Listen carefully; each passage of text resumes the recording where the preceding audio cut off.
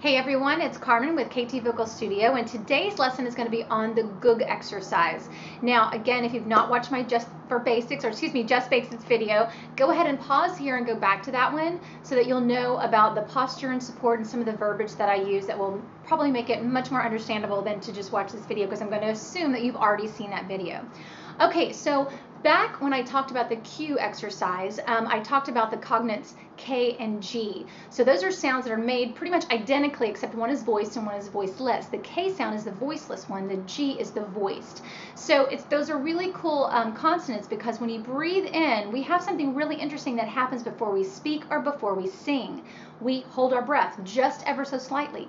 Um, so when you take a breath, you have to hold your breath just a little bit in order for it to have some subglottal pressure and for it to come through and your cords to vibrate. So the K and the G sound kind of do that automatically.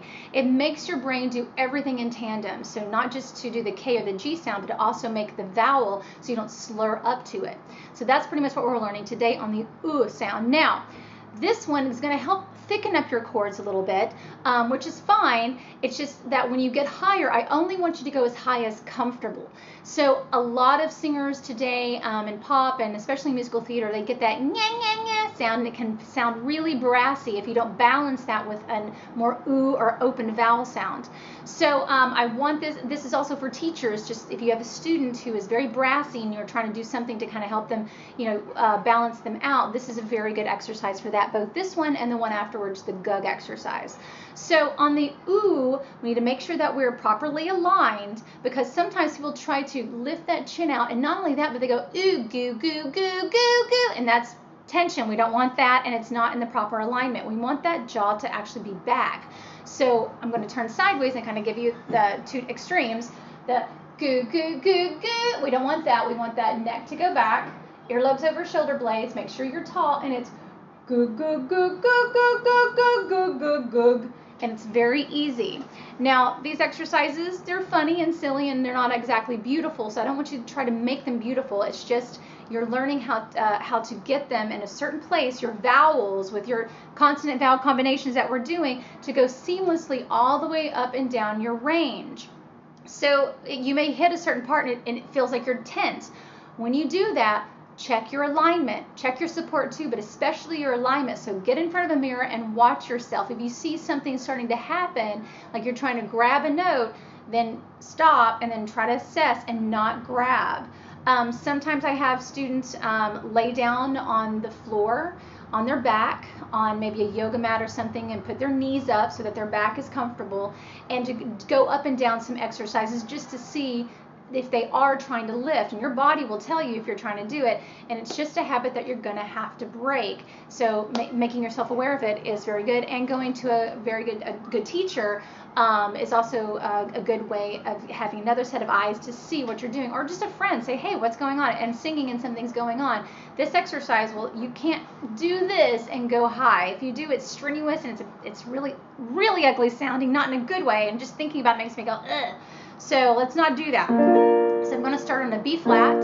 Um, so again, if you feel like you are put, uh, jutting your, your uh, neck forward or your chin up, go ahead and get a finger and just keep your finger here just to remind yourself to stay back. You're not going to force yourself back or anything like that. You're just going to have it in your mind, okay, I'm not going to jut out.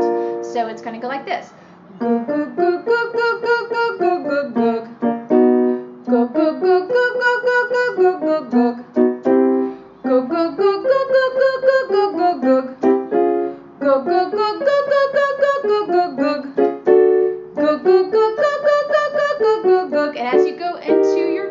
Or in that area, don't overthink it, but you may want to put a little bit more of an accent on that very first note. So that bottom note, which right now is in E flat. So you're going to have that accent, you're going to let your upper notes just kind of happen and then go back down and be strong on that same note. So um, the uh, the E flat is going to be the lower E flat, E flat 4 is going to be the strong note and strong again. So that will help you a little bit. So let's start back here on the D.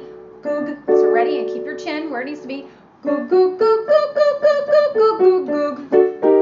Goog, goog, goog, goog, goog, goog, goog, goog,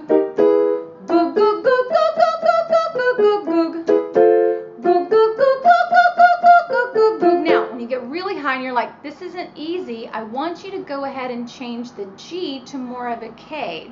Now you're not going to totally go to a K, but you're going to kind of give some of the K elements in, meaning you're going to put some, um, it's going to be voiceless more than it is voiced. So let's go back to, down to the E and try to put on the top note a little bit more of a K. And forgive me, there are kids outside screaming, so, but it's hot and I had to have the windows open. Anyway, back to this. Goog, ready? Goog, goog, goog, goog, goog, goog, goog, goog, goog. So as you go up, you're changing to that K just a little bit. Goog, goog, goog, goog, goog, goog, goog, goog, goog, but always come back down to the G. start with that G, and if you had to go up to the K sound, that's fine. One more.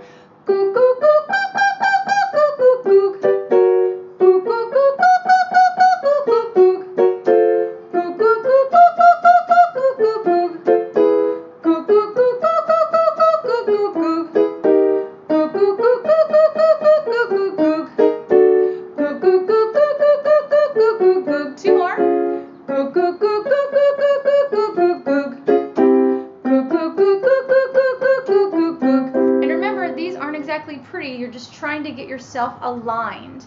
Um, and they're a great, it's a great exercise. Um, and again, if, if you're used to being yeah, yeah, yeah up there, it may be a little tough to kind of let that happen.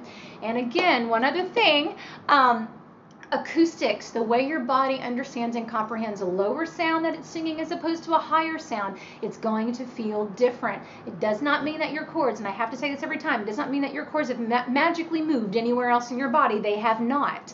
Your body's just understanding that you're in a different place, and that's perfectly fine and perfectly normal. Um, don't overthink it. Oh, I feel it in my eyeballs. So what?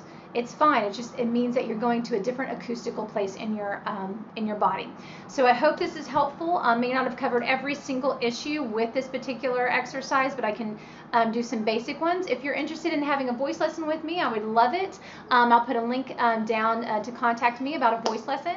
And um, yeah, have a great rest of your day singing.